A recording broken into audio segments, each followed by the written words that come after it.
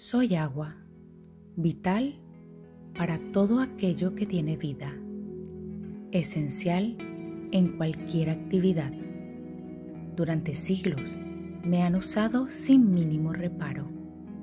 Me contaminan, me dañan, me malgastan y sigo aquí, con la memoria intacta entre tantos desechos, plásticos, químicos, guardando en recuerdos mi estado más puro, a la espera de que cada día sean más quienes detecten mis evidentes señales de que necesito ayuda.